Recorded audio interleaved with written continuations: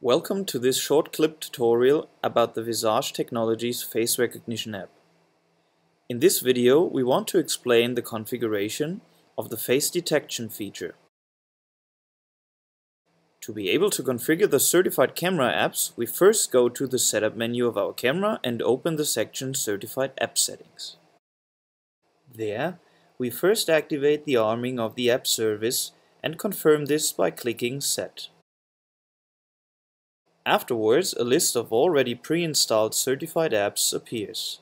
As with any other pre-installed app, you can also use a 30-day trial license for the Visage Technologies app. If you have already purchased an annual or two-year license, you can activate it via the MX Management Center. After activating your license, you will be able to activate the app itself. Confirm this with a click on Set.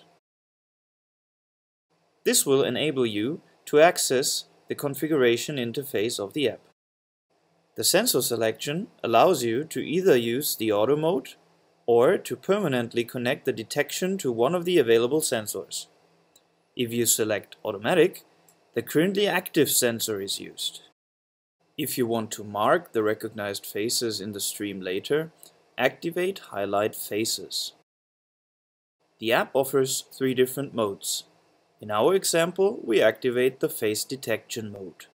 For a detailed description of the available setting options, we also recommend the online help of the camera. After the confirmation of the settings, we can view the result of our configuration in the live image.